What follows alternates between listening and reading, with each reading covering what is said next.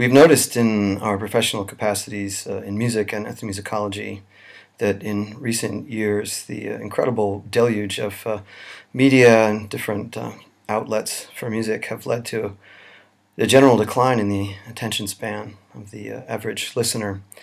So we uh, thought.